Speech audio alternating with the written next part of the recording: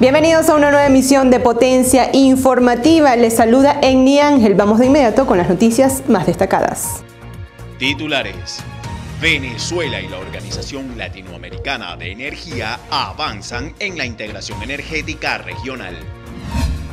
Autoridades evalúan proyectos que se desarrollan en el sistema eléctrico nacional. Y de inmediato en detalles, lo más reciente en información del sector eléctrico.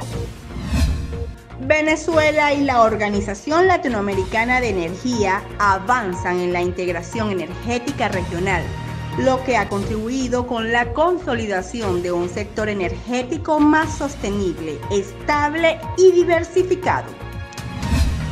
Autoridades del sector eléctrico evaluaron los diferentes proyectos que se llevan a cabo en las áreas sustantivas del sistema eléctrico nacional. De verdad nosotros estamos muy contentos de poder servir a ustedes, a los hijos e hijas de la Fuerza Trabajadora de Puerto Eléctrico.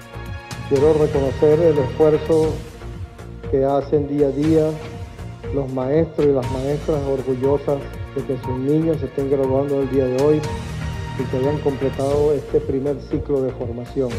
Siempre decimos que el trabajo hay que hacerlo con amor y sobre todo con el amor infinito que sentimos por los niños y niñas de la que son nuestro futuro, son nuestros semilleros, que tenemos que cultivarlos como los alevines, que serán hombres y mujeres de bien.